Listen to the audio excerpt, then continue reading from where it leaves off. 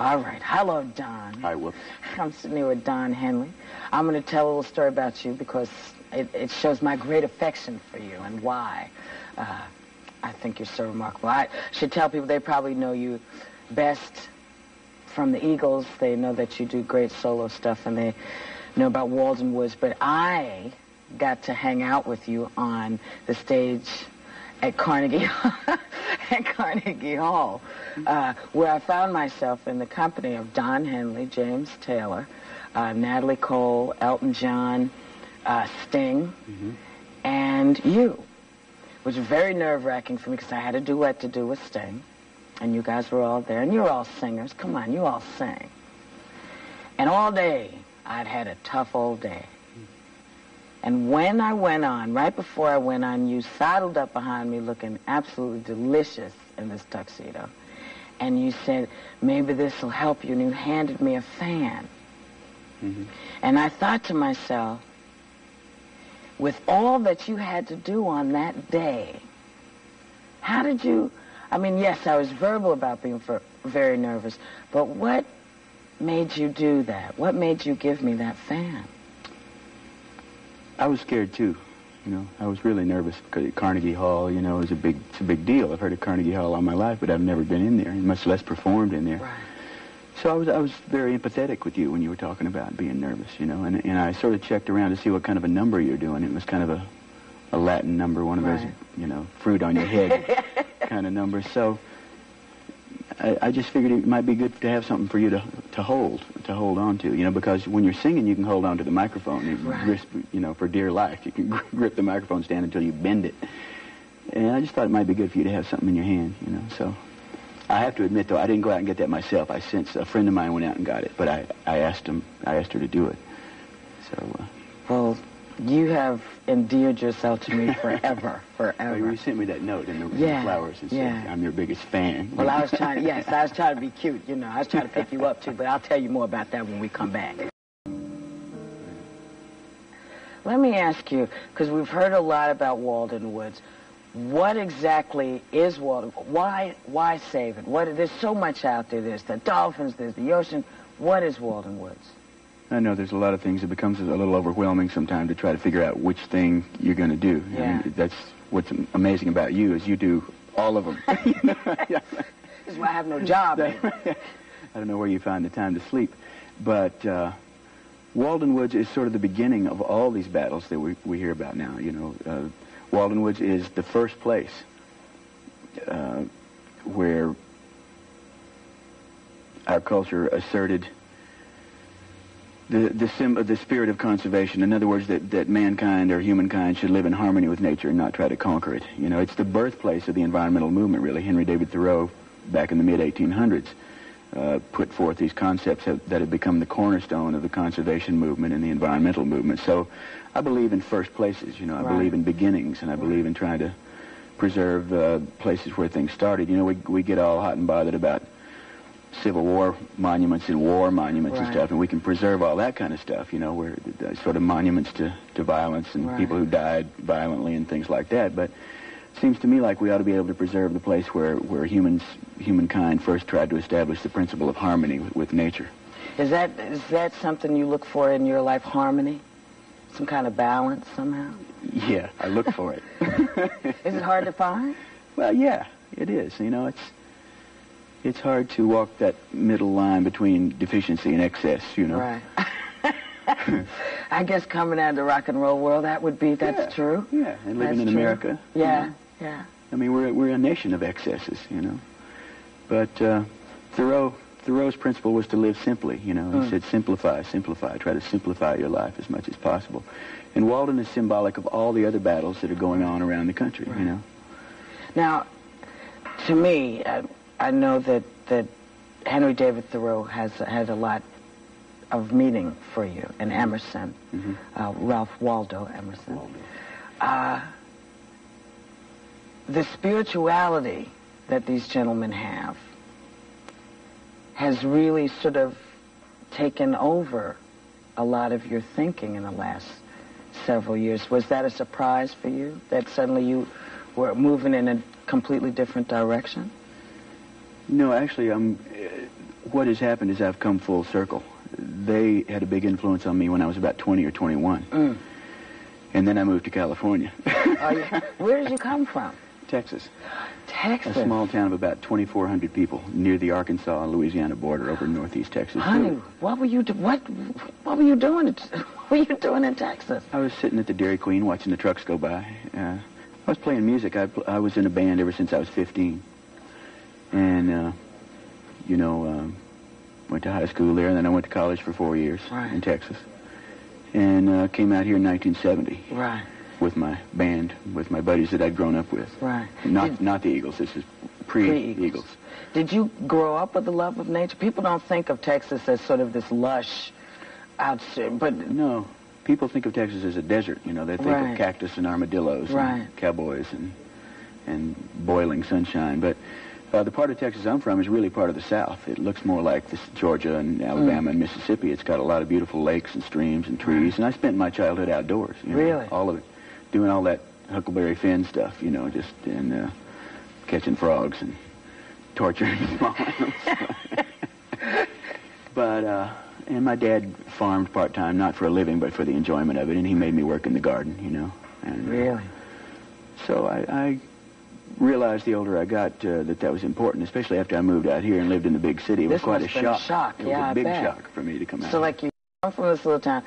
What is what is the visual that you see when you get here? First thing I remember seeing, we came in at night. It was on one of those clear, sparkly nights that we Mm. get maybe ten times a year. And the first thing, thing I remember seeing was the Capitol Records Tower. And I went, hallelujah, I've reached the promised land. and uh, I'll never forget that. But uh, I'd never seen anything quite this big. You know, I'd lived in Dallas for a while, but that didn't prepare me for the culture shock that I Right. had when I got out here. What clubs were around when you got here? Uh, well, the Whisky, of course, and Gazzari's, of course. Right, but the club, the, the club that really was seminal, that was the focal point at that time, was the Troubadour. That's where we hung out. That's where uh, a lot of people got started. Just most of the people that we listened to, you know, of our generation, got Right. started at the Troubadour. So now you come in the door of the Troubadour. Who would you just sort of see hanging out?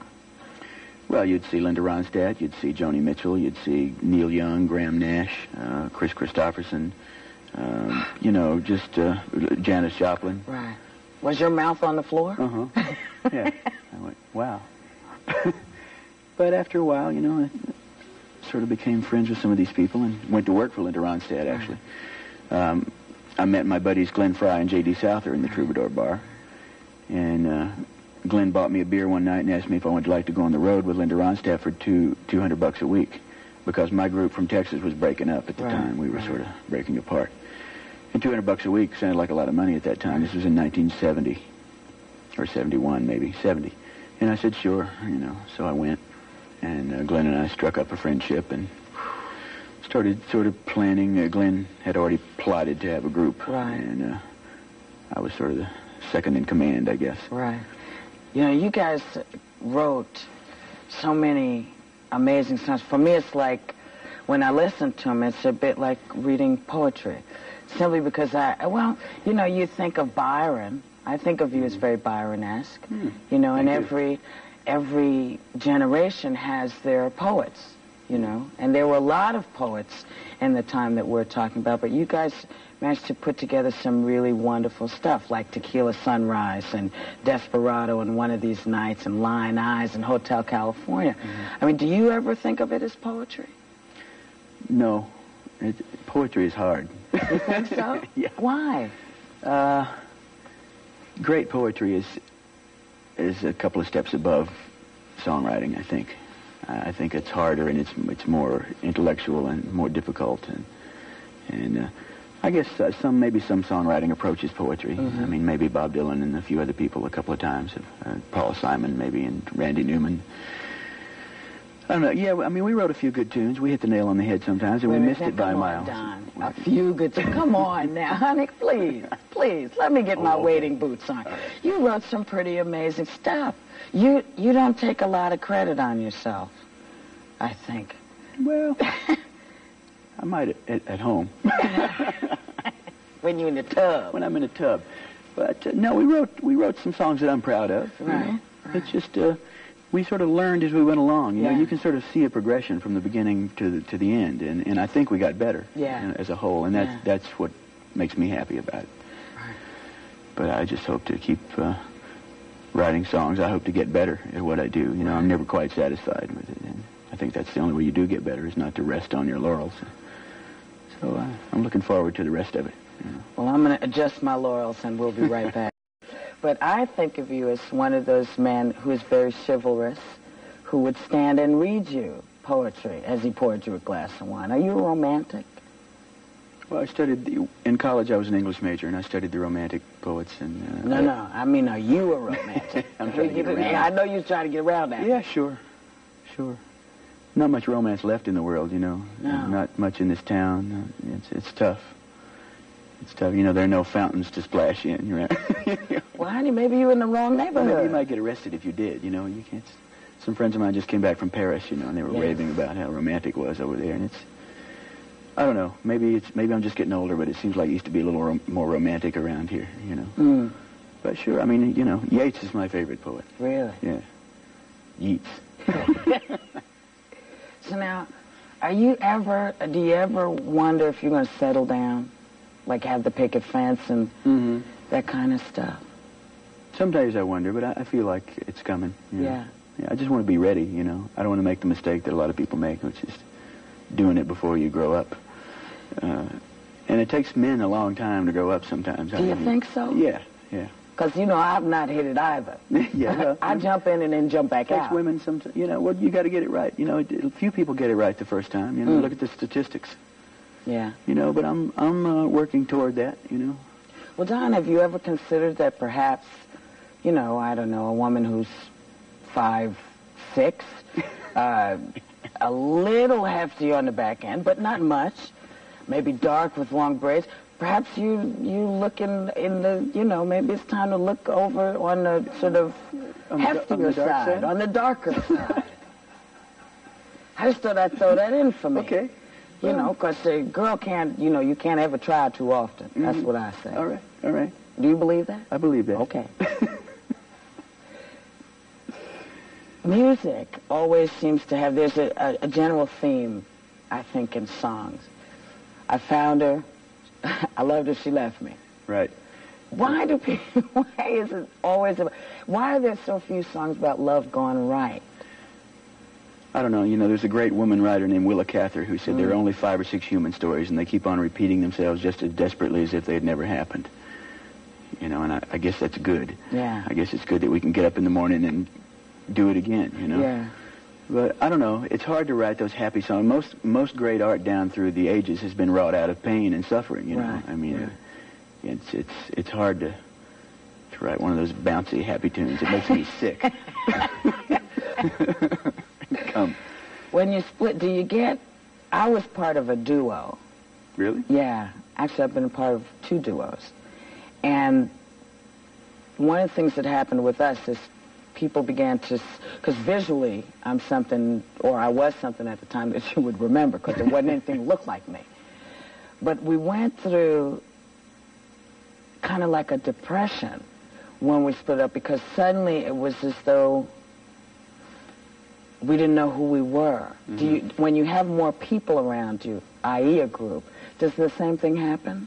Yeah, well, there's safety in numbers, you know, in a group. Uh, if one guy's down, the other guy can carry the ball. You know, it's kind of like a sports team. And, uh, yeah, I mean, if, if you're asking me if it was rough on me when the group broke up, the answer is yes, because I wasn't quite mentally prepared for it. Mm. Uh, I knew that it wasn't going to go on forever, Right. you know, but I wasn't quite prepared for the ab- abruptness with which it disintegrated. You know? So I, uh, I went through a rough period there for a while, but you know, I'm, I'm a survivor. I usually don't stay down for too long. I usually pick myself up off the floor and get on with it. You know. Yeah. Lust for life?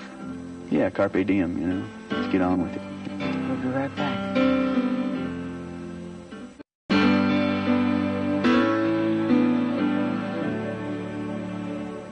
Don, This is the book I'm in with you. That's right, honey. You in there? It's called Heaven is Under Our Feet. I have the str- I've written you the strangest piece for this You book. uh, you you was are a singular figure Yes, in the book. definitely singular. So this is uh, available and out there. Uh, and there's a lot of other things. You are in in a funny kind of way spreading your seeds. Yes. yes. Do you want to explain maybe? to clarify yes, that. please do. Okay. Uh, first of all, the book is, is a wonderful book. It's 67 essays by various authors, including your, your fine self. Thank you, baby. You spoke more on the civil disobedience aspect of Mr. Thoreau. Yes. Uh, and uh, we've sold 70,000 of these in hardcover. It's about to come out in softcover very soon now. Wow. I'll be promoting it at a bookstore near you. Correct. And congrats. And uh, we also have a tree program. We're in conjunction with an organization called Global ReLeaf, spelled E R-E-L-E-A-F. Uh, it's part of the famous and historic trees program. And what these folks do is they go into Walden Woods and they gather up the seeds from the river birches and from the red maple trees. And then they take them to a greenhouse in Florida and they sprout them. And when they're about 18 to 36 inches high, they wrap them in these tubes and they ship them all over the world to people who want to buy them. So you can order a tree and plant a little bit of Walden Woods right in your backyard or at your school or in your community park or whatever you want to do. And we, uh, the trees are $35. They're guaranteed to grow if you plant them properly. Right. And uh, you get a certificate of auth- uh, authenticity signed by yours truly. Ooh. And you get the Walden Woods Project newsletter. You also get the Global ReLeaf newsletter. And um, you get a great tree. These trees are beautiful in the autumn. The leaves turn really bright red and orange.